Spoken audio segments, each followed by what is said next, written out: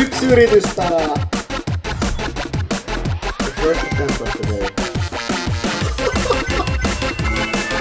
Mä menin se ekalla yrityksellä. Mitä vittua? Damn.